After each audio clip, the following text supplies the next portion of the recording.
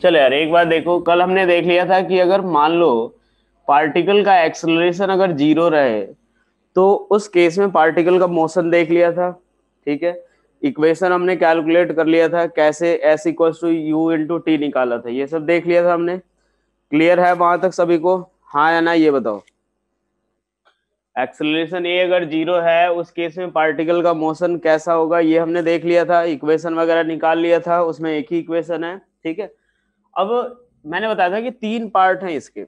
एक हमें हमारा एक्सेलरेशन ज़ीरो रहेगा, दूसरे में एक्सेलरेशन कांस्टेंट और तीसरे में अपने पास क्या होगा? एक्सेलरेशन वेरिएबल तो आज हम लोग केस सेकंड देखने वाले हैं।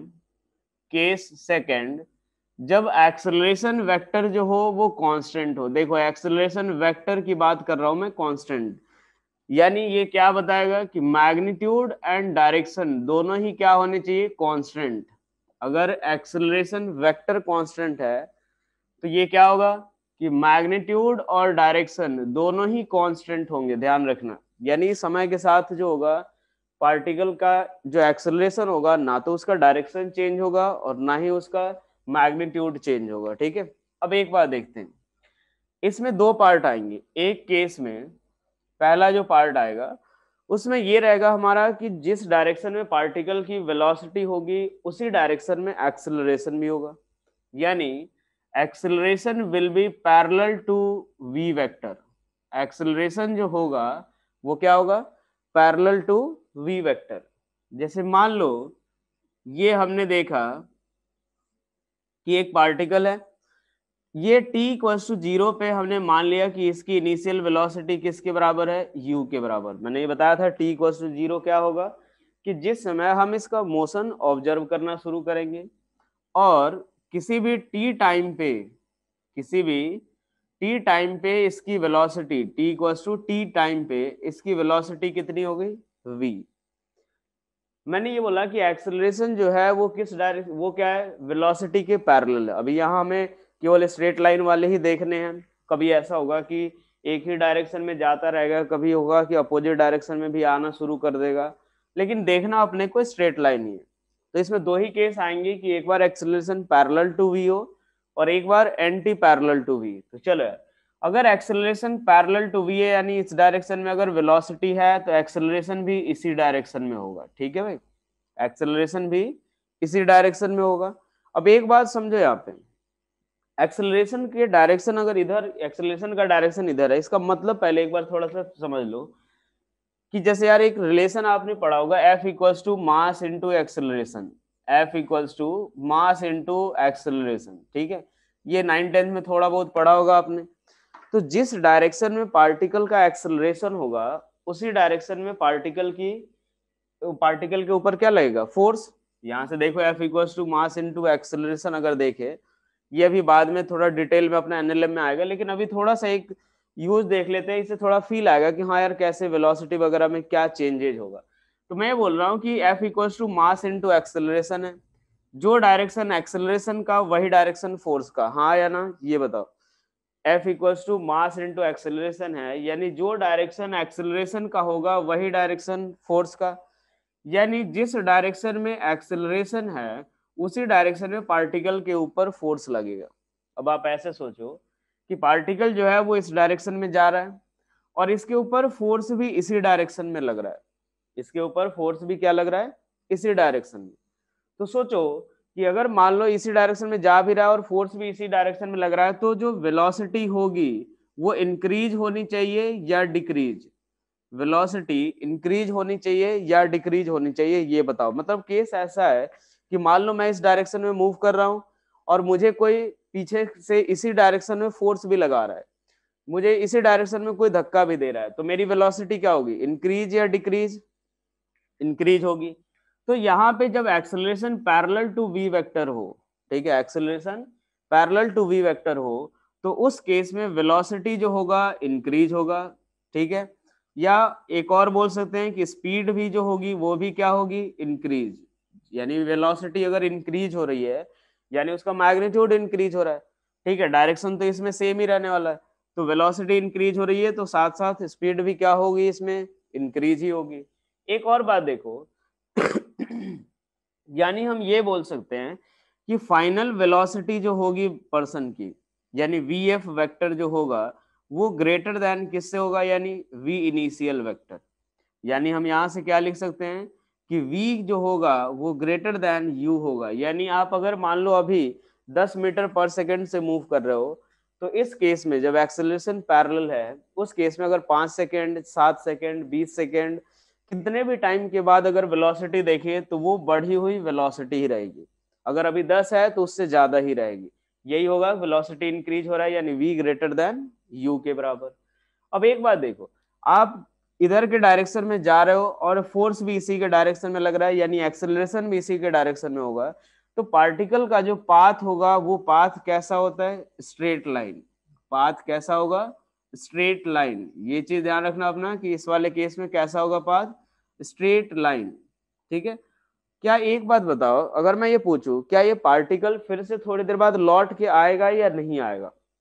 मान लो, वो इस पॉइंट ए से चलना शुरू किया है अगर मान लो थोड़ी देर बाद अगर मैं देखूँ दस सेकंड, पचास सेकंड, सौ सेकंड के बाद तो क्या ये लौट के वापस आएगा क्या? हाँ या ना? नहीं आएगा। क्यों? क्योंकि यार इधर ही वेलोसिटी भी है, इधर भी फोर्स ही लग रहा है, वो आराम से इसी डायरेक्शन में चलता जाएगा।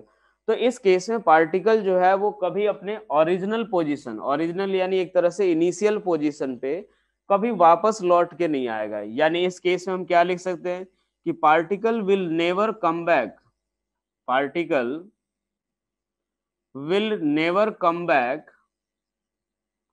to its initial position never come back to its initial position अपने initial position पे ये कभी वापस नहीं आ पाएगा will never come back to its initial position अपने initial position पे ये कभी वापस नहीं आ पाएगा और डायरेक्शन अगर इनिशियल पोजीशन पे वापस नहीं आ रहा है पाथ अगर स्ट्रेट लाइन है, यानी अपना डायरेक्शन ऑफ़ मोशन भी कभी भी चेंज नहीं होगा। तो यानी पाथ स्ट्रेट लाइन है और साथ में direction will remain same.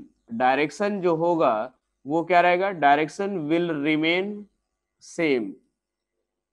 Direction जो होगा, जो भी पार्टिकल के मोशन का जो डायरेक्शन होगा, वो ऑलवेज क्या होगा? सेम डायरेक्शन हमेशा जिस डायरेक्शन में उसने मूव करना शुरू किया, उसी डायरेक्शन में कॉन्टिन्यूसली मूव करता जाएगा। इसमें एक जनरल कंफ्यूजन ये रहता है कि सर मान लो हमने एक इस डायरेक्शन को पॉजिटिव ले लिया, इस डायरेक्शन को नेगेटिव ले लिया, ठीक है? एक यहाँ पे थोड़ा सा एक कंफ्यूजन आता है। मान लो, अगर मैंने ये चीज़ एक केस ये लिया कि पार्टिकल जो है initially T equal to zero पे है, वो इधर की तरफ़ जा रहा है और इस पे एक्सेलरेशन भी इसका इसी के डायरेक्शन में मैंने मान लिया इधर के डायरेक्शन में पॉजिटिव और इसके डायरेक्शन को ले लिया नेगेटिव क्या एक बात बताओ, जैसे कुछ बच्चों का ये कहना रहता है कि सर ये एक्सेलरेशन नेगेटिव है यानी रिटार्डेशन होगा। रिटार्डेशन का नाम अभी आपने सुना होगा थोड़ा बहुत कि जब वेलोसिटी अपने डिक्रीज हो रही है। एक बात बताओ, इस केस में वेलोसिटी इंक्रीज होगी या डिक्रीज होगी? इस केस में, मैंने इस डायरेक्शन को पॉजिटिव लिया, इस डायरेक्शन को नेगेटिव पार्टिकल इधर की तरफ़ यू से जा रहा है एक्सेलरेशन भी इधर के डायरेक्शन में है। पार्टिकल की वेलोसिटी इंक्रीज होगी या डिक्रीज पार्टिकल की जो वेलोसिटी होगी वो इंक्रीज होगी या डिक्रीज होगी? यार इंक्रीज होगी। मैंने अभी बता, इसलिए मैं बोल रहा हूँ कि आप अपना ऐसा ना देख लो कि एक्सेलरेशन नेगेटिव है तो सर हमेशा डिक्रीज ही होगा। ये हमें ऐसे ध्यान नहीं रखना। हमें ये देखना है कि एक्सेलरेशन जो है वो वेलोसिटी के पैरेलल है या एंटी पैरेलल बात ये होनी चाहिए। अगर ये वेलोसिटी इधर की तरफ़ है एक्सेलरेशन इधर की तरफ़ है तो फिर से सोचो, आदमी इधर ही जा रहा है और उस पर फोर्स भी इसी डायरेक्शन में लग रहा है। तो उसकी वेलोसिटी क्या होगी? इंक्रीज होगी। वो तो नेगेटिव पॉजिटिव अपना क्या बताता है? डायरेक्शन बताता है। तो ऐसा मत सोचना कि अगर ए नेगेटिव है तो वो डिक्रीज ही होगा। अगर वेलोसिटी और एक्सेलरेशन अपोजिट डायरेक्शन में तो इस तरह का केस आएगा। ना कि एक्सेलरेशन नेगेटिव होने के केस में ही हो जाएगा। ठीक है, ये अगर मान लो यहाँ u भी नेगेटिव होगा, a भी नेगेटिव आदमी जा भी इधर ही रहा है फोर्स भी इधर ही लग रहा है। तो उस केस में क्या होगा? वेलोसिटी हमारी इंक्रीज ही होगी। क्लियर ये वाला केस हाँ है ना? ये वाला केस क्लियर हो गया सभी को? अब इसके बाद देखो सेकंड केस में कि मान लो एक्सेलरेशन जो है, अगर वो वेलोसिटी के एंटी पैरेलल है, जैसे वो केस देखते हम लोग एक्सेलरेशन जो है वो वेलोसिटी के एंटी पैरेलल है। यानी, ये केस हम लोग देख रहे हैं कि मान लो केस सेकंड पार्ट इसका, केस टू का ही, कि एक्सेलरेशन जो है वो एंटी पैरेलल है। ये देखो एरो साइन मैंने एक ऊपर एक नीचे की तरफ़ है। यानी एक्सेलरेशन वेक्टर जो है वो वेलोसिटी के एंटी पैरेलल है। यानी अब क्या होगा? यहाँ से पार्टिकल मान लो ये अपने पास यू से जा रहा है टी इक्वल्स टू ज़ीरो पे। इसके पास अगर वो जा इधर रहा है एक्सेलरेशन इस डायरेक्शन में, पीछे के डायरेक्शन में। थोड़ी देर बाद मैंने बोला कि टी इक्वल्स टू किसी भी टी टाइम पे वेलोसिटी में क्या ले रहा हूँ? इसकी वेलोसिटी इधर की तरफ़ ले लिया वी कोई एक डायरेक्शन लेना है, अपने को ले लेते हैं। बाकी इसके बारे में आगे देखते जाएँगे कि क्या क्या डायरेक्शन हो सकता है। अगर एक बार देखो एक्सेलरेशन यानी यहाँ पे क्या हो रहा है? कि पार्टिकल जा इधर की तरफ़ रहा है, लेकिन उस पर फोर्स पीछे के डायरेक्शन में लग रहा है। मतलब एक बार सोचो, मैं इधर के डायरेक्शन में दौड़ रहा हूँ और कोई फोर्स पीछे से लगा रहा है। क्या होगा? वेलोसिटी धीरे धीरे क्या होगी? डिक्रीज होगी या इंक्रीज क्या होगी? इंक्रीज या डिक्रीज डिक्रीज होगी ऑब्वियसली अगर मान लो मैं इधर जा रहा हूँ, कोई पीछे से खींच रहा है तो क्या होगा अपने पास? वेलोसिटी डिक्रीज होगी। वेलोसिटी जो होगा, वो क्या होगा? डिक्रीज और एक तरह से इसका मैग्नीट्यूड डिक्रीज हो रहा है, यानी वेलोसिटी का जो मैग्नीट्यूड होगा वो भी स्पीड कहलाएगा, स्पीड भी क्या होगा? डिक्रीज, ठीक है? यानी हम ये बोल सकते हैं कि फाइनल वेलोसिटी जो होगा, ठीक है, वो लेस देन किससे? इनिशियल वेलोसिटी से। Final velocity will be less than initial velocity. ध्यान रखना, ये चीज़ जो रहेगा, वो ये तब तक रहेगा जब तक कि वो ये अपने पास एक बार देखो फाइनली वेलोसिटी धीरे धीरे क्या होता जाएगा? डिक्रीज इसके बाद एक और पॉइंट पहले सोच, समझते हैं, उसके बाद इस पे आते हैं। ये अगर मान लो धीरे धीरे डिक्रीज होने लगा तो क्या एक समय आएगा कि जब ये यहाँ पे इसकी वेलोसिटी ज़ीरो होगी? एक समय आएगा कि जब इसकी वेलोसिटी क्या हो जाएगी? ज़ीरो हाँ या ना, ये बताओ। मान लो मैं दौड़ रहा हूँ, इधर मूव कर रहा हूँ, कोई मुझे पीछे की तरफ़ खींच रहा है तो धीरे धीरे मेरी वेलोसिटी क्या होगी? ज़ीरो धीरे धीरे कुछ टाइम के बाद वेलोसिटी क्या हो जाएगी? ज़ीरो यानी, और उसके बाद क्या होगा? जरा ये सोचो। मान लो कि एक बार वेलोसिटी ज़ीरो हो गई, उसके बाद क्या मैं वही रुका रहूँगा या फिर पीछे के डायरेक्शन में मूव करना शुरू कर दूँगा? ये हमने देख लिया वेलोसिटी डिक्रीज हो रही है, उसके बाद सोचो ये धीरे धीरे ज़ीरो होगी, उसके बाद की बात कर रहा हूँ मैं। उसके बाद क्या होगा? वो आदमी पीछे आने लगेगा या फिर वही रुका हुआ रहेगा? ये जरा सोचो मैं इधर की तरफ़ दौड़ रहा हूँ, पीछे से कोई एक फोर्स लगा रहा है। मैं धीरे धीरे मेरी वेलोसिटी डिक्रीज होगी सही बात है। उसके बाद अगर एक बात बताओ कि वेलोसिटी मेरी डिक्रीज होके ज़ीरो हुई तो मैं वहीं रुका रह जाऊँगा या फिर पीछे के डायरेक्शन में आऊँगा। तो अब एक बात देखो। अगर ये एक्सेलरेशन कंटिन्यू रह रहा है उसके बाद मतलब ये जो एक्सेलरेशन जो अपोजिट डायरेक्शन में, ठीक है, ये जो एक्सेलरेशन होता है, इसी को हम लोग क्या बोल देते हैं? रिटार्डेशन ध्यान रखना इसको। नॉर्मली हम लोग नेगेटिव लेंगे, लेकिन ये कब रहता है? रिटार्डेशन हम कब बोलेंगे? कि जब वेलोसिटी और एक्सेलरेशन अपोजिट डायरेक्शन में हो। ये हमारा क्या हो? कि इफ़ रिटार्डेशन हमारा कब होगा? कि if V vector and A vector are anti parallel तभी हम उसको रिटार्डेशन बोलेंगे। ठीक है? अब एक बात सोचो। धीरे धीरे वेलोसिटी डिक्रीज होकर के ज़ीरो हो गई। उसके बाद भी अगर ये फोर्स जो एक्सेलरेशन है, ये पीछे के डायरेक्शन में जो लग रहा है, उसके कारण एक फोर्स ही लग रहा है। अगर वो कंटिन्यू रहा तो वो पीछे के डायरेक्शन में आना शुरू कंटिन्यू पीछे के डायरेक्शन में आना शुरू हो जाएगा। अदरवाइज़ वो वही रुका रह जाएगा, ठीक है? तो ये होगा क्या? यहाँ से देखो कि particle will stop for a moment इस केस में क्या होगा? Particle will stop for a moment किसी एक पर्टिकुलर टाइम के लिए particle will stop for a moment किसी एक पर्टिकुलर टाइम के लिए पार्टिकल रुकेगा, यानी उसकी वेलोसिटी क्या होगी? स्टॉप फॉर अ मोमेंट का मतलब वेलोसिटी उसकी ज़ीरो होने लगी सॉरी ज़ीरो हो गई। उसके बाद क्या होगा? Then particle will stop particle क्या होगा? पीछे के डायरेक्शन में आना शुरू हो जाएगा अपोजिट डायरेक्शन में। Then particle will start to move particle will start to move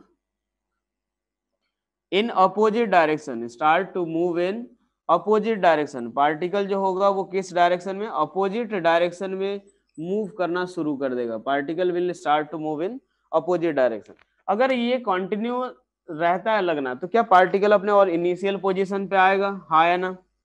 इस केस में क्या पार्टिकल इनिशियल पोजीशन पे आएगा? आएगा। उसके बाद क्या होगा? पहले यहाँ से गया लौट के इनिशियल पोजिशन पे आया, अभी भी अगर लग रहा है तो ये पीछे के डायरेक्शन में जाना शुरू हो जाए। क्लियर? यहाँ पे क्या होगा, पार्टिकल जाएगा, रुकेगा थोड़ी देर के लिए, वापस आना शुरू होगा, उसके बाद भी अगर कंटिन्यू रह रहा है तो अपोजिट डायरेक्शन में जाना शुरू हो जाएगा। क्लियर हुआ ये चीज़? हाँ या ना? अब एक बात देखो, मैं ये बोल रहा हूँ कि जैसे ये जो वी एफ़ लेस देन जो वी एक और बात देखो, कि एक जब आप क्वेश्चन करोगे कंफ्यूजन ये आता है। जैसे मान लो अगर हम लोग बाइक वगैरह चला रहे हैं, अगर तो ब्रेक अप्लाई करते हैं तो ब्रेक अप्लाई करने का मतलब क्या होता है? कि एक तरह का रिटार्डेशन ही आता है। जरा एक बात सोचो ब्रेक अप्लाई करते हैं तो ब्रेक अप्लाई अगर करते हैं तो ये एक तरह का हमारा क्या होता है? रिटार्डेशन ही होता है, जिस कारण से वेलोसिटी डिक्रीज होनी शुरू हो जाती है। हाँ या ना? ये चीज़ तो पता है। अगर मैं कोई भी कार या बाइक जो भी अगर ड्राइव करते हैं, जैसे ही ब्रेक अप्लाई करते हैं, ये क्या होता है कि पी हमारा जो एक्सलेशन का डायरेक्शन है, वो अपोजिट डायरेक्शन में हो जाता है। वेलोसिटी के अपोजिट होता है, जिस कारण से वेलोसिटी डिक्रीज होनी शुरू हो जाती है। अब एक जनरल कन्फ्यूज़न ये आता है कि सर, उसमें तो ऐसा होता नहीं है कि हम लोग रुकते हैं, उसके बाद पीछे के डायरेक्शन में फिर से वापस आना शुरू हो जाते हैं। तो देखो, मैंने ये चीज़ कब बोला था कि जो पीछे के डायरेक्शन में आना कब शुरू होगा कि जब अगर रुकने के बाद भी रिटार्डेशन अपोजिट डायरेक्शन में रहे, रुकने के बाद भी अगर वो अपोजिट डायरेक्शन में रिटार्ड ये एक्सेलरेशन लगता रहे तो उस केस में वापस आना शुरू होगा। और जैसे ही अगर गाड़ी रुक जाती है तो उससे पीछे के डायरेक्शन में कोई भी फोर्स नहीं लगता है। और कोई भी फोर्स नहीं लगता है, यानी पीछे के डायरेक्शन में कोई एक्सेलरेशन नहीं लग रहा है।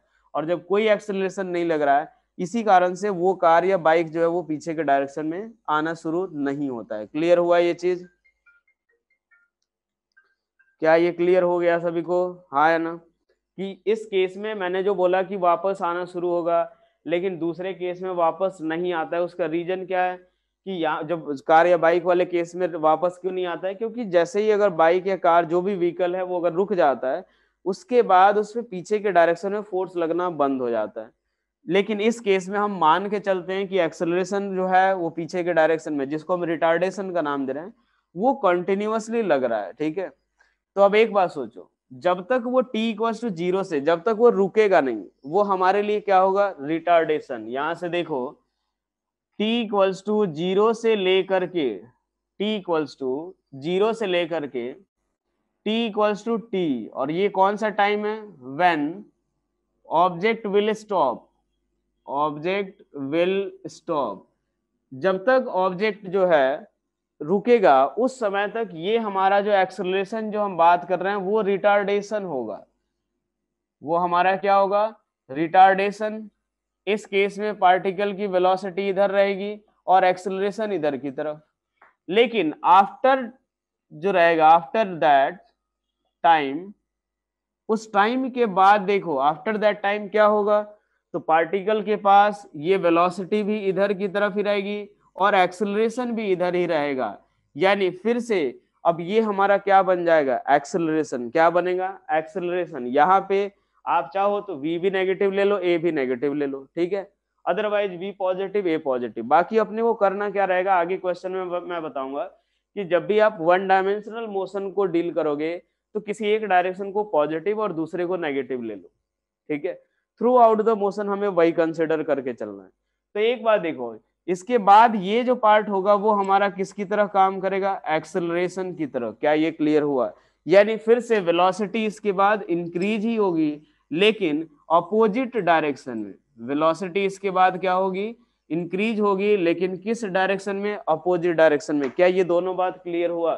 क्या ये पूरा? जैसे मान लो ये एक्सेलरेशन ये जो पीछे के डायरेक्शन में लग रहा है, वो अगर कंटिन्यू रहा तो जब तक रुकेगा नहीं, तब तक के लिए वो रिटार्डेशन की तरह काम करेगा, उसके बाद एक्सेलरेशन की तरह। क्लियर हुआ ये चीज़? क्या ये क्लियर हो गया? चलो, अब एक बार देखो, जब भी ये वन डायमेंशनल मोशन हम डील करेंगे तो एक ही साइन कन्वेंशन अपने को लेना रहेगा। चाहे आप कोई भी एक डायरेक्शन पॉजिटिव दूसरे को नेगेटिव ले लो, ठीक है? अब इस वाले केस में सर कैसा होगा? ये तो एक्सेलरेशन इसमें बोल रहे हो सर एक्सेलरेशन यहाँ से अगर देखो मान लो इधर पॉजिटिव लिया हमने, इधर की तरफ़ नेगेटिव तो यहाँ से देखो, v कैसा आएगा? पॉजिटिव एक्सलेशन कैसा? नेगेटिव इस वाले पार्ट के लिए क्या आएगा? A भी नेगेटिव आएगा और वी भी कैसा आएगा? नेगेटिव ए भी कैसा? नेगेटिव और वी भी कैसा आएगा? नेगेटिव नेगेटिव साइन हमें क्या बताता है? वेक्टर क्वांटिटी है, सिर्फ़ किस चीज़ को रिप्रेजेंट करेगा? डायरेक्शन को। क्या यहाँ तक क्लियर हुआ सभी को? हाँ या ना? फटाफट बोलो। ये पूरा मोशन समझ आया अपना, जब एक केस एक्सेलरेशन दोनों के, ये पैरेलल हो वेलोसिटी के, और एक बार एंटी पैरेलल हो। दोनों में पूरा पूरा कैसे मोशन होगा वो क्लियर हो गया। अब इसके बाद जो है ना, हम लोग एक रिलेशन निकालते हैं, जो इक्वेशन ऑफ़ मोशन रहेगा। जैसे इसमें तीन चार चीज़ें आती हैं, ठीक है? ये यू वी ये सारी चीज़ें जो रहती हैं, उन सबको हमने नाम दे रखा है। यू हमारा क्या कहलाता है? इनिशियल वेलोसिटी मान लो एक केस हम लोग कंसिडर करते हैं। इक्वेशन ऑफ़ मोशन यहाँ से देखो, मान लिया हमने एक ऑब्जेक्ट जो है, वो इस डायरेक्शन में यू से जा रहा है। ये कब की बात है? टी इक्वल्स टू ज़ीरो और ये जो है वी जो इसकी वेलोसिटी है टी इक्वल्स टू कब? टी पे। एक्सेलरेशन कितना है? ए ठीक है? इसी डायरेक्शन में लेते हैं अभी। अब इस केस में यहाँ से देखो, ये u जो होता है, इसको हम क्या बोलते हैं? इनिशियल वेलोसिटी u क्या होता है? इनिशियल वेलोसिटी v को हम क्या बोलते हैं? किसी भी टाइम t की बात t के समय की वेलोसिटी है तो इसको हम क्या बोलेंगे? फाइनल वेलोसिटी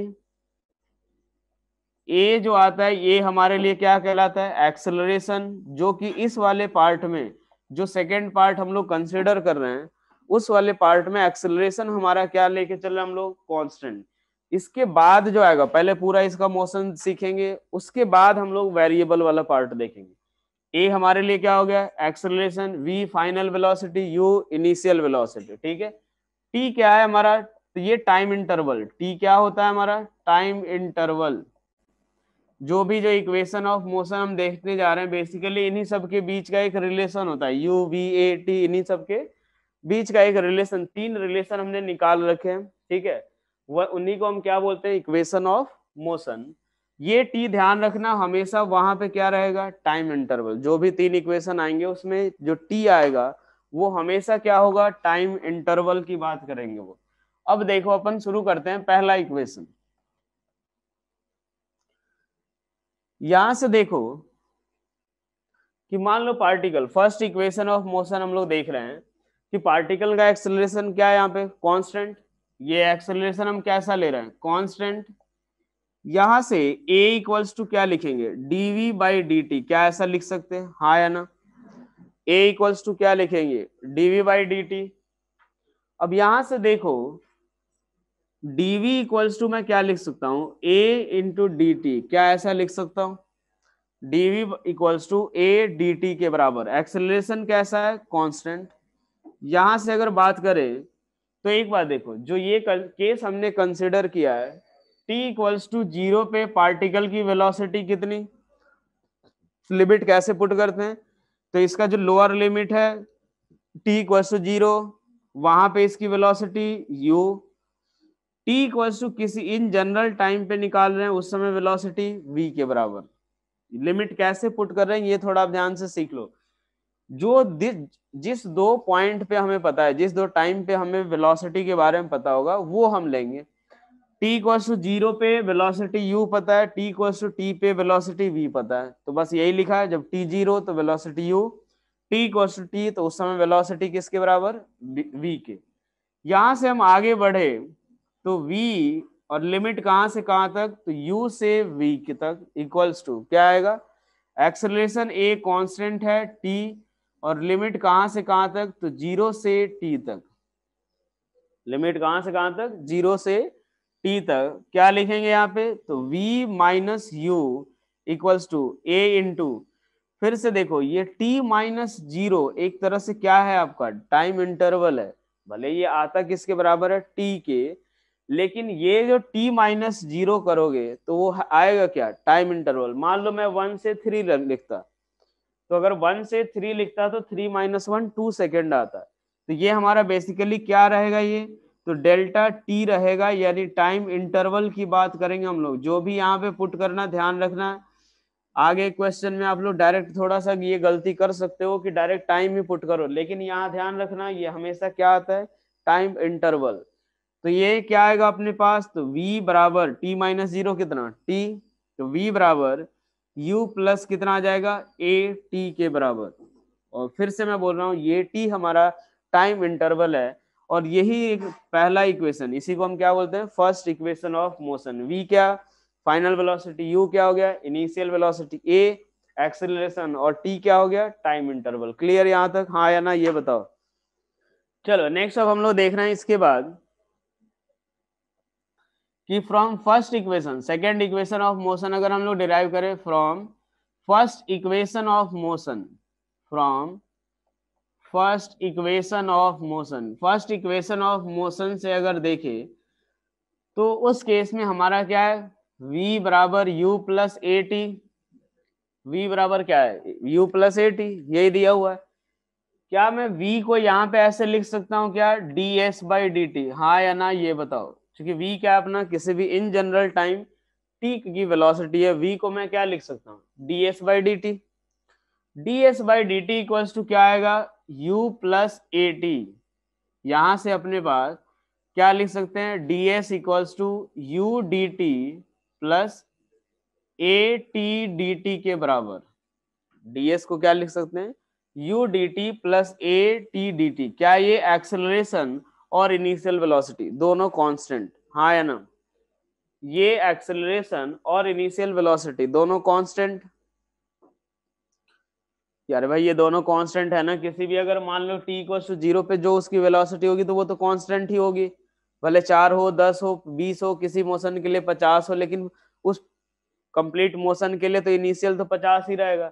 एक्सेलरेशन तो हम लोग कांस्टेंट लेके ही चल रहे हैं। इनिशियल क्यू कांस्टेंट वही मैं बोल रहा हूँ कि मान लो अगर कोई एक मोशन हमने लिया कि मान लो तुम जा रहे हो टी इक्वल टू ज़ीरो पे सपोज़ दस मीटर पर सेकेंड से जा रहे हो थोड़ी देर बाद तुम्हारी वेलोसिटी जो, भी वी हो गई। तुम्हारे इस कंप्लीट मोशन के लिए मैं पूछू एक बात बताओ इनिशियल वेलोसिटी कितनी? तो हमेशा दस ही बोलोगे ना? ऐसा थोड़ी थोड़ी देर बाद वाली वेलोसिटी उठा के बोल दोगे बीस मीटर पर सेकेंड आप तो हमेशा इनिशियल कितना बोलोगे? दस ही बोलोगे। तो यू हमारा क्या होगा? कांस्टेंट तो एक काम करते हैं, इसको इंटीग्रेशन साइन से बाहर कर लेते हैं।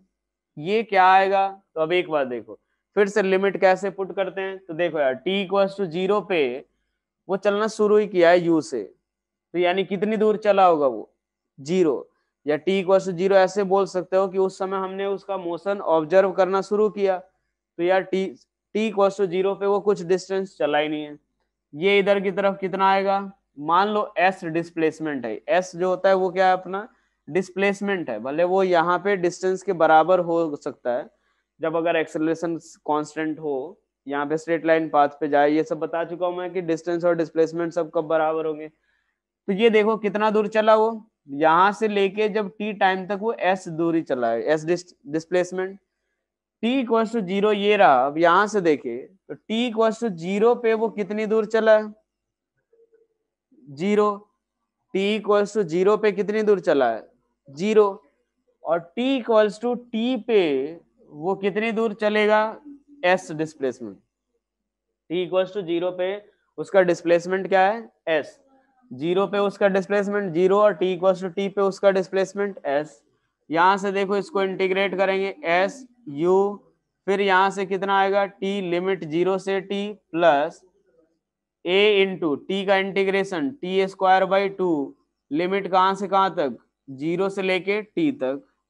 फिर से देखो, यहाँ पे ये जो आ रहा है, वो सब क्या है? टाइम इंटरवल ही है। टी इक्व टू ज़ीरो पे यू क्यों नहीं आया? बेटा, एक बात बता, कहीं वेलोसिटी वेरिएबल है क्या? इस इक्वेशन में वेरिएबल कौन सा है? टाइम और डिस्प्लेसमेंट तो यार लिमिट भी तो हम टाइम और डिस्प्लेसमेंट का ही पुट करेंगे। अगर मान लो जैसे इस इक्वेशन में हमारा क्या आ गया, ये इस इक्वेशन में वेलोसिटी और टाइम जो था वो वेरिएबल था तो उसकी लिमिट पुट करेंगे। यहाँ पे टाइम और डिस्प्लेसमेंट वो वेरिएबल है तो उसकी लिमिट पुट करेंगे। तो ये कितना आ जाएगा? S equals to u t plus half a into कितना? टी स्क्वायर क्या ये इक्वेशन क्लियर हुआ सभी को? ये हमारा कहलाता है सेकेंड इक्वेशन ऑफ़ मोशन क्या क्लियर हुआ? हाँ या ना? सेकेंड इक्वेशन ऑफ़ मोशन क्या क्लियर हो गया सभी को? नेक्स्ट अब हम लोग देखते हैं इसका थर्ड इक्वेशन थर्ड यहाँ से देखो। चलो। नेक्स्ट अब हम लोग देख रहे हैं थर्ड इक्वेशन ऑफ़ मोशन यहाँ से देखे अगर तो एक बार देखो एक्सेलरेशन ए इक्वल्स टू क्या होता है? Acceleration a equals to dv by d t यही होता है acceleration a equals to dv by d t यहाँ से ए इक्वल्स टू किसके बराबर? तो dv upon d t into अगर मैं ऐसे लिखू d x by d x तो किसी को कोई दिक्कत इसमें? वन से मल्टीप्लाई किया मैंने dv by d t into कितना लिख दिया मैंने? D x upon d x क्या ये क्लियर हुआ? कुछ नहीं किया मैंने, वन से मल्टीप्लाई कर दिया बस। Dv by d t into d x upon d x dv by d t into d x by d x यहाँ से देखो ए इक्वल्स टू क्या ले लेता हूँ मैं? डीवी इसको इधर ले आता हूँ, इसको इधर की तरफ़. कितना आएगा? Dv by d x into d x by d t a equals to कितना? Dv by d x into कितना? D x by d t तो फाइनली हमें ये क्या मिलेगा? D x by d t क्या होगा? वी तो ए इक्वल्स टू कितना आएगा? V dv by d x आप ये रिलेशन भी ध्यान रखना. आगे चल के काफ़ी काम आएगा। दो रिलेशन हो गया अपने पास। A equals to v dv by d x और a equals to dv by d t ये जो इक्वेशन ये कब काम आएगा अपना? जब भी अगर मान लो वेरिएबल एक्सेलरेशन वाले क्वेश्चंस करेंगे, उस समय आपको ये सोचना पड़ेगा कि कौन सा रिलेशन यूज़ करें। V और x का रिलेशन दिया रहेगा तो ये टी रिलेशन तो उसके लिए ये वाला रिलेशन ठीक है? अब यहाँ से देखो। A इक्वल्स टू क्या आ गया अपने पास? V dv upon d x तो मैं इसको ऐसे लिख सकता हूँ, v dv equals to a into d x के बराबर। हाँ या ना? इसको ऐसे लिख सकता हूँ, v dv equals to a into d x यहाँ से डी एक्स इधर भेजा। अब एक बार देखो, फिर से एक्सेलरेशन कांस्टेंट है। क्या ये भी कांस्टेंट है क्या? एक्सेलरेशन तो कांस्टेंट है, पूरा काम ही अपन कांस्टेंट एक्सेलरेशन वाले पे कर रहे हैं। मैं ये पूछ रहा हूँ, क्या ये v कांस्टेंट है? जैसे वहाँ पे हमने u कांस्टेंट लिया था, क्या वो v कांस्टेंट है या नहीं? हाँ या ना, ये बताओ, ये जो v है, वो कांस्टेंट है या नहीं है? नहीं है। ये किसी t टाइम की वेलोसिटी है। हाँ। ये किसी अपना टी टाइम तक की वेलोसिटी है तो वो तो धीरे धीरे अपना टाइम चेंज होगा तो वेलोसिटी कौन सॉरी चेंज होगा। मान लो आप मूव करना शुरू कर रहे हो, दस से शुरू किया आपने मूव करना। धीरे धीरे बढ़ेगा, पंद्रह, बीस, पचास, जैसे जैसे टाइम बढ़ता जाएगा, वैसे वैसे वेलोसिटी बढ़ती जाएगी। तो मैं बोलू, यार, दस सेकेंड तो वो अलग टाइम या ऐसे देख लो, मान लो मैं अपने पास वी और एक्स की बात हो रही है तो देखो जरा कि मैं बोल रहा हूँ कि जब s ज़ीरो है तो उस समय वेलोसिटी 10 मीटर पर सेकेंड है, ठीक है भाई? जब मैं बोलू x इक्वल्स टू पंद्रह एक्सलेशन कांस्टेंट है वेलोसिटी यहाँ पे इंक्रीज ही हो रही है इस डायरेक्शन में। या अगर अपोजिट डायरेक्शन में तो भी डिक्रीज ही होगा, बस चेंज तो होगा भाई। X इक्वल्स टू मैं बोलू वन मीटर पे तो उसकी वेलोसिटी कुछ और। X equals to two metre पे तो उसकी वेलोसिटी कुछ और। X equals to three metre पे, उसकी वेलोसिटी कुछ और। तो जैसे जैसे एक्स चेंज हो रहा है, क्या उसकी वेलोसिटी भी चेंज हो रही है? हाँ या ना, ये बताओ। जैसे जैसे एक्स चेंज हो रहा है, क्या उसकी वेलोसिटी चेंज लेकिन ये अगर मैं बोलूँ इनिशियल वाली क्या चेंज होगी क्या? इनिशियल वाली चेंज होगी क्या? इनिशियल वाली वेलोसिटी नहीं होगी। मैं अगर बोलूँ इनिशियल कितना था तो इनिशियल तो इतना ही रहेगा, हमेशा दस ही। भले एक्स इक्वल टू पाँच, दस, पंद्रह, जैसे जैसे चेंज होगा, वैसे वैसे वेलोसिटी चेंज होगी। तो इसीलिए ये भी हमारा क्या है? वेरिएबल तो अब एक बात देखो। ये मान लिया हमने एक्स जब ज़ीरो है तो बताना एक्स जब ज़ीरो है तो उस डायरेक्ट उस पॉइंट उस टाइम पे या उस डिस्प्लेसमेंट पे वेलोसिटी कितनी है? जब एक्स ज़ीरो उस समय डिस्प्लेसमेंट कितना? सॉरी वेलोसिटी कितनी? U. जब वो मोशन शुरू किया, जब डिस्प्लेसमेंट ज़ीरो तो उस समय वेलोसिटी u. मान लिया किसी इन जनरल टाइम पे जब डिस्प्लेसमेंट x है तो उस समय वेलोसिटी कितनी? V. या इसको s मान लेते हैं। ठीक है? यहाँ हमारा जो वेरिएबल यहाँ मान लो कितनी दूरी पे है? S. जब उसका डिस्प्लेसमेंट s है, उसकी वेलोसिटी कितनी? V. चलो, इसको इंटीग्रेट करते हैं v square by two limit कहाँ से कहाँ तक? u से v equals to a into x limit zero से s. फाइनली हमें क्या मिलेगा? V square minus u square equals to two into a into s क्या ये डायरेक्ट समझ आया? क्या लिखा मैंने? हाँ या ना, ये बताओ। क्या हो गया? सर, ये दोबारा रिपीट कर दो। कहाँ नहीं समझ आया लक्ष्य, ये बताओ। पहले तो ये हमने देखा एक्सेलरेशन का, ये relation a equal to v d v by d x उसके बाद डी एक्स इधर भेजा मैंने। यहाँ से देखो v d v equal to a d x मैंने बोला एक्सेलरेशन कांस्टेंट लो भाई, अगर एक्सेलरेशन कांस्टेंट है, इसको इंटीग्रेशन साइन से बाहर कर सकते हैं। उसके बाद ये जो आया वी डी वी मैंने बोला कि जैसे जैसे एक्स चेंज हो रहा है, यानी डिस्प्लेसमेंट चेंज हो रहा है वैसे वैसे ये वेलोसिटी वी भी चेंज हो रहा है। तो यार ये तो कांस्टेंट है नहीं फिर तो इसको भी इंटीग्रेट करना पड़ेगा। तो यहाँ से वी डी वी का integration v square by two limit u से वी ए एक्स ज़ीरो से एस यही यही रिलेशन आएगा। यही हमारा क्या होगा? Third equation of motion third equation of motion क्या ये क्लियर हो गया सभी को? हाँ या ना? क्या ये क्लियर हुआ अब? एस क्यू लिया लिमिट पे। तो कुछ तो लेना था। मान लो तुम्हें एक्स लेना है, ले लो भाई। यहाँ डायग्राम में मैंने एस लिया था तो वहाँ भी एस ले लिया। कुछ तो लेना था। एक्स वाई जेड जो भी लेना चाहो ले सकते हो। मैंने एस डिस्प्लेसमेंट शो कर रहा है, रखा है तो इसीलिए वहाँ भी ले लिया। ठीक है? अब ये हमारे तीन इक्वेशन है। इसके अलावा भी हम लोगों ने दो तीन रिलेशन और निकाल रखे ठीक है? तीन रिलेशन और निकाल रखे बाकी उनको इक्वेशन ऑफ़ मोशन हम लोग जो रहेगा वो हमेशा ध्यान रखना कि तीन ही इक्वेशन ऑफ़ मोशन काउंट करते हैं। वो अपने फ़ायदे के लिए कुछ रिलेशन हमने अलग से निकाल रखे ठीक है? वो एक बार देख लेते हैं।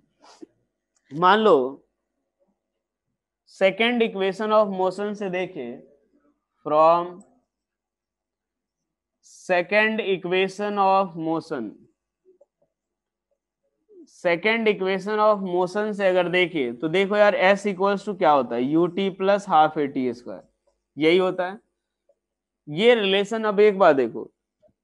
मान लो मैंने फ़र्स्ट इक्वेशन हमें पता है v बराबर u प्लस ए टी यहाँ से u को क्या मैं लिखूँगा? V माइनस ए टी के बराबर। हा है ना? U इक्वल्स टू क्या लिख सकता हूँ मैं? V माइनस ए टी के बराबर। ये लिख सकता हूँ। अब एक बार देखो, s इक्वल टू मैंने लिया u. U की जगह पे v minus a t into t plus half a t square यही आएगा। अब एक बार देखो v t minus a t square plus ये कितना आएगा? Half a t square v t minus कितना? ये कैलकुलेशन चेक करो। सही है या नहीं?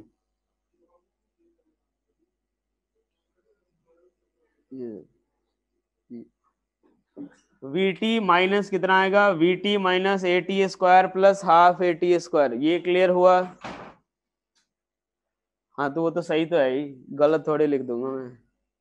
यहाँ से देखो, ये किसके बराबर? तो वी टी माइनस कितना जाएगा? ये किसके बराबर? ऐसे देख लो। One a t square common ले लो। तो कितना? One by two minus one के बराबर। हाँ या ना? V t plus a t square into one by two minus one क्या ऐसा लिख सकते हैं? हाँ है ना? V t plus a t square into one by two minus one हाँ कि ना? कुछ नहीं किया मैंने ए टी स्क्वायर कॉमन ले लिया one by two minus one ले लिया। तो अब एक बार देखो one by two minus one कितना? माइनस वन बाई टू यानी ये फाइनल हमें क्या मिलेगा? तो v t minus half a t square v t minus कितना? Half a t square s equals to क्या आएगा एक रिलेशन तो v t minus half a t square क्या ये क्लियर हुआ? ये रिलेशन हमने अपने फ़ायदे के लिए निकाल रखा है कि मान लो, जब वेलोसिटी अगर फाइनल वेलोसिटी दे रखा हो, जैसे ये इक्वेशन में हमें क्या पता होना चाहिए? इनिशियल वेलोसिटी पता होना चाहिए टाइम और एक्सेलरेशन पता होना चाहिए। इस इक्वेशन में हमें फाइनल वेलोसिटी पता होना चाहिए और एक्सेलरेशन ये और टाइम ठीक है? तो मान लो कभी इनिशियल की जगह अगर फाइनल भी दिया हुआ है तो उस केस में भी हम लोग या डायरेक्ट ये यूज़ कर सकते हैं। ए इक्वल्स टू ज़ीरो के लिए यूज़ कर कर लो, कोई दिक्कत नहीं। कांस्टेंट है एक्सेलरेशन अगर ज़ीरो है तो वो भी एक कांस्टेंट ही है। यूज़ करो, वही आएगा s equals to v t जो भी सारे ये रिलेशन है, अगर एक्सेलरेशन कांस्टेंट है, आप यूज़ कर सकते हो। तो v बराबर u plus a t use करना, वो कर लो। वी स्क्वायर बराबर u square plus two s करना, वो कर लो। चलो, अब नेक्स्ट अब हम लोग देखते हैं। यहाँ से एक एवरेज वेलोसिटी के बारे में हम लोग देख लें। एवरेज वेलोसिटी नेक्स्ट हम लोग क्या देख रहे हैं? Average velocity average velocity v average हम लोग कैसे निकालते हैं? डिस्प्लेसमेंट अपॉन कितना? डिस्प्लेसमेंट अपॉन टाइम टेकन यही होता है हाँ कि ना, ये बताओ डिस्प्लेसमेंट अपॉन कितना? टाइम टेकन वी बराबर क्या होगा? डिस्प्लेसमेंट अपॉन कितना? टाइम टेकन अब एक बार देखो डिस्प्लेसमेंट हमारा कितना? एस टाइम टेकन कितना? टी एस और टी मैंने यहाँ से लेके यहाँ तक के लिए लिया एक्सेलरेशन कांस्टेंट है, यहाँ से यही कंडीशन के लिए हम लोग निकाल रहे हैं कि v equals to average velocity equals to total displacement s total time t. s को मैं क्या ये चीज़ लिख सकता हूँ क्या? U t plus half a t square s equals to क्या मैं लिख सकता हूँ? U t plus half a t square मैं ये बोल रहा हूँ कि एवरेज वेलोसिटी हमारा क्या होता है? डिस्प्लेसमेंट अपॉन टाइम टेकन मैं ये बोल रहा हूँ particle t equals to zero से टी तक मूव किया. डिस्प्लेसमेंट कितना? एस टाइम कितना? टी तो displacement s upon time t s equals to मैंने सेकंड इक्वेशन से लिख दिया u t plus half a t square क्या ये क्लियर हुआ सभी को? हाँ या ना, फटाफट बोलो. S equals to u t plus half a t square अब एक बार देखो, यहाँ से टी से टी कैंसिल आउट हो जाएगा, बचेगा कितना? U plus one by two into a t यही हमारा क्या होगा? एवरेज वेलोसिटी अब एक बार देखो, मैं अगर यहाँ से फ़र्स्ट इक्वेशन ऑफ़ मोशन से अगर देखो ए टी की वैल्यू क्या पुट कर सकते हैं? टी अगर हम यहाँ से देखें तो from first equation of motion थोड़ा इधर आते हैं। From first equation of motion हम क्या लिख सकते हैं? From first equation of motion first equation of motion से हम ये v बराबर u प्लस ए टी है। अब एक बार देखो क्या ए टी इक्वल्स टू मैं ऐसे लिख सकता हूँ। V minus u a t equals to v minus u वहाँ से देखो। V एवरेज इक्वल्स टू किसके बराबर? U प्लस कितना हो जाएगा? ए टी की जगह पे पुट कर दो। V minus u by two बस यही हो जाएगा। और क्या कुछ बचा तो नहीं। A t equals to v minus u यहाँ से क्या आ जाएगा? तो u plus v by two के बराबर, ये हो जाएगी हमारी एवरेज वेलोसिटी ध्यान रखना, एक रिलेशन आप ये भी यूज़ कर लेना एवरेज वेलोसिटी के लिए, लेकिन ये तब वैलिड होगा जब हमारा एक्सेलरेशन क्या हो कांस्टेंट क्या क्लियर हुआ ये चीज़? हाँ कि ना?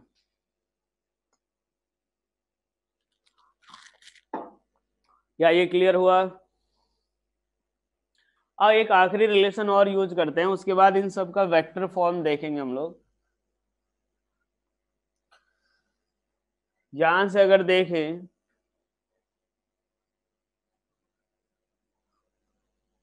चलो, ये अब हम लोग देखते हैं नेक्स्ट सिक्स वाला, देखो इक्वेशन ऑफ़ मोशन अगर पूछा जाए कितने होते हैं तो छह मत बोल देना, तीन ही होता है। ये हमने अपने से निकाल रखा है, कुछ रिलेशन जो कि हमारे लिए यूजफुल है थोड़े। ठीक है? अब एक बात देखो, अभी तक हम लोग क्या चाहते थे कि टी टाइम इंटरवल में कितना डिस्प्लेसमेंट हुआ या टी टाइम इंटरवल में कितनी के, के बाद वेलोसिटी क्या होगी ये सब निकाल निकाला हमने। अब हम ये निकालना चाहते हैं कि थर्ड सेकंड पे डिस्प्लेसमेंट कितना होगा? थर्ड सेकंड पे। या फोर्थ सेकंड में आदमी कितना चला? सिक्स सेकंड में आदमी कितना चला? हम इसकी बात करने वाले हैं। थर्ड सेकंड फोर्थ सिक्स ऐसे टाइम में कितना चलेगा वो हम लोग देखना चाहते हैं। ठीक है? तो अब एक बार देखो। थर्ड, फोर्थ सिक्स मतलब ये कैसे निकालोगे? आप जरा पहले एक तो नॉर्मल हम लोग वैल्यू लेके देखते हैं। जैसे मान लो, एक आदमी ये टी इक्वल्स टू ज़ीरो से चलना शुरू किया, ठीक है? मैं बोलू, पाँच सेकंड में कितना चला? मैं बोलू, पाँच सेकंड में कितना चला? तो ये बोलोगे कि, सर, पाँच सेकंड, ये t equals to five second पे यहाँ पे था। तो ये एस ये मान लो एस फाइव ले लेते हैं या एस वन ले लो। ठीक है, पाँच सेकंड में चला, क्या लिखोगे? S one equals to u t plus half a t square आप टी की जगह पे फाइव पुट करोगे, सीधा वैल्यू आएगा, वो बता दोगे कि सर वो इतना चला है। चल, वो कांस्टेंट एक्सेलरेशन से ही रहा है। लेकिन अगर मैं बोलू फिफ्थ सेकंड में कितना चला? लेकिन अगर मैं ये बोलू कि फिफ्थ सेकंड में कितना चला? तो क्या ये दोनों चीज़ सेम या अलग? पाँच सेकंड में कितना चला और फिफ्थ सेकंड में कितना चला? दोनों सेम या डिफरेंट दोनों सेम या डिफरेंट अलग होगा। भाई, पाँच सेकंड में कितना चला और फिफ्थ सेकंड में कितना चला? दोनों चीज़ें अलग हैं। तो फिफ्थ सेकंड में अगर डिस्प्लेसमेंट निकालू तो मैं कैसे निकालूँगा? कि पाँच सेकंड का डिस्प्लेसमेंट निकालूँगा, उसमें से चार सेकंड का डिस्प्लेसमेंट सब्ट्रैक्ट कर दूँगा। हाँ कि ना? हमारा जो तरीका रहेगा, कैसे फिफ्थ सेकंड का डिस्प्लेसमेंट तो कैसे निकालेंगे कि पाँच सेकंड का डिस्प्लेसमेंट निकालो माइनस चार सेकंड का डिस्प्लेसमेंट सब्ट्रैक्ट कर दो। यही तरीका होगा। अरे हाँ है ना, फटाफट बोलो। पाँच सेकंड के डिस्प्लेसमेंट में से चार सेकंड का सब्ट्रैक्ट करो। ये पूरा क्या होगा? फिफ्थ सेकंड का डिस्प्लेसमेंट अब एक बात देखो तो यही काम हम लोग करने वाले हैं कि अगर मान लो हमसे ये बोला जाए कि nth सेकंड का डिस्प्लेसमेंट बताओ, हमसे क्या बोला जाएगा कि nth सेकंड में डिस्प्लेसमेंट बताओ तो मैं क्या करूँगा कि n सेकंड का डिस्प्लेसमेंट निकालूँगा, उसमें से n माइनस वन सेकेंड का डिस्प्लेसमेंट सब्ट्रैक्ट करूँगा। हाँ या ना, ये बताओ। ये हमें क्या बताएगा? Displacement in nth second particle जो है वो nth सेकेंड में कितना चला, वो हम लोग को निकालने के लिए क्या करेंगे हम लोग? तो nth सेकेंड का डिस्प्लेसमेंट के लिए n सेकेंड में displacement minus n minus one second का डिस्प्लेसमेंट क्लियर हुआ ये चीज़? हाँ है ना? पहले ये बताओ। इसके बाद तो बस कैलकुलेशन है। ये समझ आना ज़रूरी है बस। तो आओ एस एन की वैल्यू निकाले। देखो, ये nth है, ये n है, ये टाइम इंटरवल है, ये पर्टिकुलर एक फिफ्थ सेकेंड सिक्स सेकेंड कुछ ऐसा टाइम है। एस एन इक्वल्स टू क्या लिखेंगे? सारी चीज़ें यही है। तो u t plus half a t square s equals to क्या? है u t plus half a t square क्या लिखोगे? S n equals to u into n plus one by two into a into n square ठीक है? S n minus one क्या आएगा? तो u into n minus one plus one by two into a into n minus one का square क्या ये दोनों line जो लिखी मैंने समझ आया आपको? हाँ या ना? हमने तरीका देख लिया कि कैसे निकालेंगे। मैंने उसके बाद ये दोनों लाइनें लिखी। क्या क्लियर हुआ? T इक्वस टू एक बार n पुट किया, एक बार n माइनस वन अब क्या करना है? दोनों को सब कर दो। तो चलो भाई एस एन इक्वल्स टू क्या लिखोगे? S n equals to s n minus s n minus one subtract करो। कितना आएगा? तो ये वैल्यू पुट करो तो u n plus half a n square minus ये कितना आएगा? इसको पहले पूरा ब्रैकेट के अंदर रखते हैं। U into n minus one plus half a into n minus one का होल स्क्वायर एक बार थोड़ा ध्यान से देखना, यहाँ पे थोड़ा सा ज़्यादा कैलकुलेशन है। देखते जाना, जहाँ पे नहीं समझ आया, बताना। मैं क्या कर रहा हूँ? U n plus half n square इसको ऐसे ही लिख रहा हूँ। माइनस, इसको मल्टीप्लाई करते हैं सॉरी जो भी ब्रैकेट है उसको ओपन करते हैं। U into n minus u plus अब एक बात देखो ए इंटू कितना आएगा?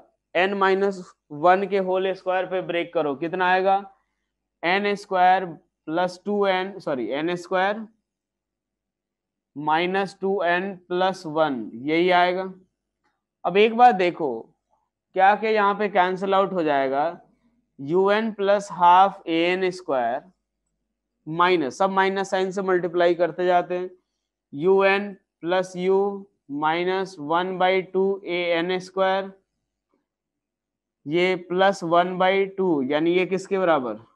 One by two into a into two n और minus one by two a क्या ये क्लियर हुआ? बस कुछ नहीं किया मैंने, एक तो ए माइनस बी के होल स्क्वायर पे इसको ये ओपन कर दिया और उसके बाद माइनस साइन से एक्सपैंड कर दिया। बस वो ब्रैकेट जो भी था, पूरा बाहर वाला ओपन कर दिया। यहाँ से देखो, इससे ये कैंसिल आउट इससे ये कैंसिल आउट हो जाएगा। बचा क्या?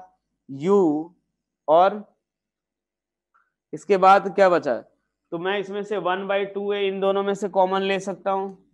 इन दोनों में से मैं क्या कॉमन ले लू? वन बाई टू ए तो plus one by two a into कितना? टू एन माइनस वन के बराबर। यही हमारा क्या होगा? Displacement in nth second displacement in nth second क्या आएगा? U plus a by two into two n minus one क्या ये समझ आया आपको? हाँ या ना? क्लियर हुआ? अब एक बार देखो, यहाँ पे हमने ये जो पाँच छह रिलेशन देखे ना इन सबको थोड़ा वेक्टर के फॉर्म में भी देख लेते हैं, ठीक है? ध्यान रखना, ये जो भी एस यू ये सारी चीज़ें अपनी कैसी क्वांटिटी हैं? वेक्टर क्वांटिटी हैं, ठीक है? तो वेक्टर फॉर्म में एक बार लिख के देख लेते हैं कि क्या आएगा अपने पास। सारे इक्वेशन जो भी हमने अभी तक देखे, उन सबको क्या लिख लेते हैं? वेक्टर फॉर्म में कि एक बार कभी कभी ऐसा होता है कि दो, चार मतलब जैसे कोई भी जो ऑब्जेक्टिव क्वेश्चन रहेगा, उसमें ये दो, तीन सही लिख देंगे, एक गलत लिख देंगे। या दो तीन गलत लिख के एक सही लिख देंगे। बोलेंगे, कौन सा एक्सप्रेशन वेक्टर फॉर्म में गलत है या सही है? तो देखो इक्वेशन ऑफ़ मोशन जो भी हमने, है तो तीन ही, बाकी जो पूरे छह रिलेशन निकाले हैं, उसको वेक्टर फॉर्म में लिखते हैं, ठीक है? पहला रिलेशन क्या है? V बराबर u प्लस ए टी जरा ऐसे सोचो, v बराबर u प्लस ए टी ये वेक्टर ये भी वेक्टर ये भी वेक्टर यही आएगा। T हमारा क्या है? स्केलर क्वांटिटी तो क्या आएगा यहाँ पे? V vector equals to u vector plus a vector into t पहला। सेकेंड इक्वेशन ये हमने क्या लिखा था? S equals to u t plus half a t square यही आया था? अब एक बात देखो टी हमारा क्या अपना? टाइम ये s वेक्टर इक्वल्स टू क्या? U vector plus one by two A into A vector into कितना? टी स्क्वायर ये हमारा सिंपली क्या है? कांस्टेंट ने ये देख रखा है कांस्टेंट से एक वेक्टर को मल्टीप्लाई कर सकते हैं। थर्ड इक्वेशन अब ये वाला थर्ड इक्वेशन देखो, बाकी ये दोनों तो सिंपल थे अपने। V square equals to u square plus two a s आ रहा है, ठीक है? अब एक बात देखो, ऐसा नहीं होता है कि डायरेक्ट आप वी वेक्टर का स्क्वायर लिख दो। ये चीज़ मैंने डॉट प्रोडक्ट में आपको बताया था कि ए डॉट ए जो होता है वो किसके बराबर? ए स्क्वायर के। याद है आपको? ए डॉट ए ए स्क्वायर के बराबर। याद है आपको ये चीज़? या डॉट प्रोडक्ट में पढ़ाया था? Vector a dot vector a equals to a square. तो देखो भाई, यहाँ पे क्या लिखोगे? V vector dot v vector equals to क्या लिखोगे? U vector dot u vector plus two into a vector dot s vector. ये बेटा ध्यान रखना, डिस्प्लेसमेंट है, डिस्टेंस नहीं है। भले ही अलग बात है, जब स्ट्रेट लाइन पे जाए, डायरेक्शन चेंज नहीं हो, दोनों बराबर हो जाए, आराम से आंसर आ जाएगा, लेकिन ये हमारा है क्या? डिस्प्लेसमेंट। कोई ये मत कंफ्यूज हो जाना कि सर आपने डिस्टेंस के ऊपर क्यों एरो लगा रखा है? क्लियर चलो भाई, यहाँ से देखते हैं फोर्थ हमने, ये तो अपना तीन इक्वेशन जो ये रहा। तीन इक्वेशन जो हमने लिखा, जो इक्वेशन ऑफ़ मोशन है।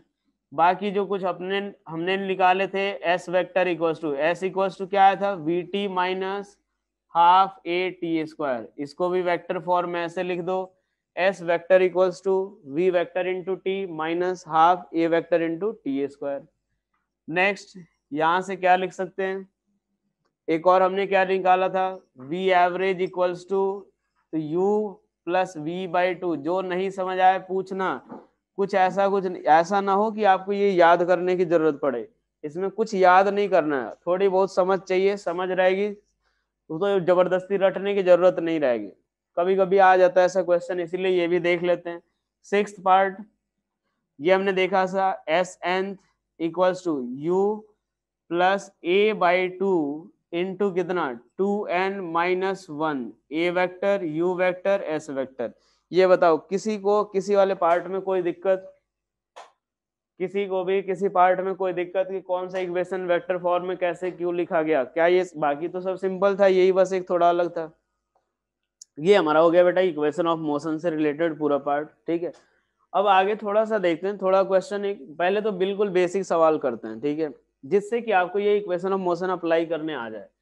पहले एक बार देखो यार। क्वेश्चन सॉल्व करने से पहले देखो, पहले ही मैं थोड़ी बहुत बातें क्लियर कर देता हूँ। नहीं तो दिक्कत ये आती है बाद में कि कुछ लोगों को प्रॉब्लम आता है कि कौन सा इक्वेशन अप्लाई करे, वो समझ नहीं आता। देखो, वैसे नाइन्थ क्लास में ये सब चीज़ें हम लोग कर चुके हैं। लेकिन फिर भी चलो मान लो किसी ने अगर नहीं किया हो तो उसके लिए भी मैं बता रहा हूँ कि सबसे पहले आपको क्या करना है? अगर आपने जीवन में अगर कभी ऐसा क्वेश्चन नहीं भी किया हो, कभी अगर ये तीन इक्वेशन ऑफ़ मोशन पे प्रैक्टिस भी नहीं की हो तो भी कोई दिक्कत नहीं। आपको जब भी अगर पहले सवाल आए ना, सबसे पहले आपको क्या करना है कि जो भी गिवन डेटा है, वो लिख लिया करो। सवाल बिल्कुल ध्यान से पढ़ना अब, ठीक है? देखो, अब असली जो क्वेश्चंस आने वाले हैं, अब सही अब शुरू हो जाएँगे, ठीक है? मैं बोल रहा हूँ, पहले तो आप आदत डाल लेना क्वेश्चन पहले ढंग से पढ़ने का, उसके बाद डायग्राम ज़रूर बनाने लेना बेटा। फिजिक्स में आप बिना डायग्राम सवाल करने की कोशिश मत करना। अभी से आदत बना लोगे, फिर थोड़ा आगे चल के हेल्प मिलेगा। और करना क्या है, जो भी आप इसमें जो भी डेटा दिया हो और जो निकालना हो, वो आप लिख लेना सबसे पहले। ठीक है? अगर आइडिया आ रहा है कि हाँ यार, कौन सा इक्वेशन अप्लाई कर वो अगर डायरेक्ट क्लिक कर रहा है, तब तो अच्छी बात है। नहीं कर रहा है ना उसके लिए आप क्या करना कि तीनों इक्वेशन पुट कर देना बस। पहले तीनों इक्वेशन सामने लिख लेना बस। तीनों इक्वेशन क्या करना आप? सामने लिख लेना। कुछ दिन तक ऐसे करोगे, उसके बाद खुद ब खुद आइडिया लग जाएगा। अगर शुरू में ये दिक्कत आ रही है, मैं पहले उसका उपाय बता दे रहा हूँ। तो जो भी प्रैक्टिस करना, ईमानदारी से बैठ करके इस तरह से प्रोसीड करना, दिक्कत नहीं आएगी। तो तीनों इक्वेशन आप पहले ऐसे लिख देना सामने। फिर देख लेना कि क्या क्या दे रखा है और हमें निकालना क्या है, उसके लिए सुटेबल कौन सा है। बस यही तरीका है। अगर जिसको आइडिया नहीं लग रहा है, उसके लिए मैं बता रहा हूँ, यही एक तरीका है जिससे वो सीख सकते हैं। बाकी अगर आइडिया लग रहा है, तब तो अच्छी बात है, फिर तो कोई टेंशन ही नहीं। कि आपको क्या करना है, तीनों इक्वेशन सामने लिख लो, उसमें देख लो कि जैसे मान लो अगर किसी में हमने, हमें अगर v दिया हो, u दिया हो और a दिया हो और s पूछ रखा हो तो क्या करोगे आप? बोलोगे, यार, v, u, a दिया हुआ है। ठीक है एस पूछ रहा है इसमें तो है ही नहीं छोड़ दो। एस दे एस निकालना यू टी दे नहीं रखा तो ये भी छोड़ दो। वी यू ए दे रखा एस निकाल लो बस थर्ड इक्वेशन अप्लाई कर देना। तो ये आप इक्वेशन क्वेश्चन देख करके दे, डेटा देखो क्या क्या दे रखा है तभी आइडिया आएगा। ठीक है दूसरी बात किसी एक डायरेक्शन को हमें पॉजिटिव और ये दूसरे डायरेक्शन को नेगेटिव डिसाइड पहले ही कर लेना है। ठीक है जो भी है एक डायरेक्शन को पॉजिटिव आप फ्री हो, चाहे तो आप राइट साइड को पॉजिटिव ले लो लेफ़्ट को नेगेटिव या लेफ़्ट को पॉजिटिव लेफ़्ट को पॉजिटिव राइट को नेगेटिव जो इच्छा हो आपकी बोले ना लेकिन थ्रू आउट द मोशन आपको यही चीज़ फॉलो करना है। आगे चल के ये नहीं होना चाहिए कि हाँ थोड़ी दूर गया तो हमने यही साइन कन्वेंशन यूज़ किया, वो जैसे उसने पलटी मारी, हमने अपना साइन पलट दिया, कुछ नहीं करना। जो जिस डायरेक्शन में हो, आप उस साइन के साथ पुट करो, अपने आप वैल्यू साइन के साथ आएगी। ठीक है? अब एक बात देखो, बिल्कुल पहले आसान सवाल हम लोग कर रहे हैं यहाँ पे। एक आध आसान सवाल करेंगे, फिर थोड़ा सही करेंगे, उसके बाद थोड़े बहुत प्रीवियस ईयर क्वेश्चंस भी करेंगे, ठीक है? चलो यार, यहाँ पे देखते हैं, मान लो, एक ही सवाल ये दे रहा हूँ मैं, सारी चीज़ें निकलवा देता हूँ इसी में, ताकि अपना बेसिक एप्लीकेशन वाला जो क्वेश्चन है, कि कौन सा इक्वेशन अप्लाई करे, वो हमारा पार्ट खत्म हो जाएगा। मान लो यहाँ पे मैं बोल रहा हूँ कि एक पार्टिकल की जो वेलोसिटी है वो 10 मीटर पर सेकेंड है। और एक्सेलरेशन जो है एक्सेलरेशन जो है, वो मान लो दो मीटर पर सेकेंड स्क्वायर है। बिल्कुल आसान सवाल, पहला सवाल बिल्कुल इसीलिए ताकि आप इक्वेशन ऑफ़ मोशन अप्लाई करना सीख जाओ। पहला पार्ट देखो फटाफट वेलोसिटी निकालो t equals to three second पे। फटाफट बोलते जाओ कौन, क्या आंसर आता जाएगा। इसी में सारा सवाल जो बेसिक करना है, वो सारा इसी में कर लेंगे अपन। वेलोसिटी क्या होगी? T equals to three second पे। वेलोसिटी, जो भी बेसिक सवाल है, वो सवाल खत्म करेंगे अपन। v बराबर वेलोसिटी क्या होगी? T equals to three second पे। सिक्सटीन होगा ना? देखो, कल कौन सा इक्वेशन v बराबर यू प्लस ए टी चाहो तो लिख सकते हो, एक सवाल मैं भी लिख देता हूँ ताकि आपको लगे हाँ यार कैसे सोचे। वी स्क्वायर बराबर यू स्क्वायर प्लस टू है देखो, दे क्या रखा है? पहला सवाल, u दे रखा है दस मीटर। मान लो भाई, इधर की तरफ़ पॉजिटिव इधर की तरफ़ नेगेटिव आया।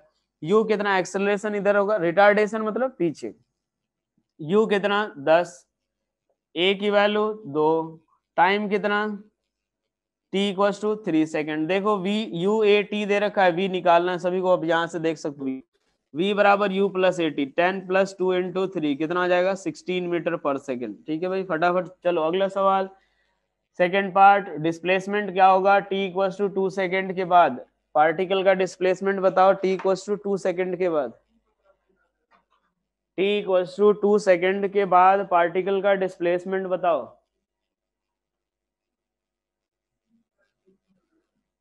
T equals to two second के बाद पार्टिकल का डिस्प्लेसमेंट ओ भाई देखो यहाँ तीस सेकेंड इक्वेशन फटाफट अप्लाई करो s equals to u t plus half a t square u कितना? दस टाइम दो वन बाई टू एक्सेलरेशन दो टाइम कितना? दो का स्क्वायर ये कितना हो जाएगा?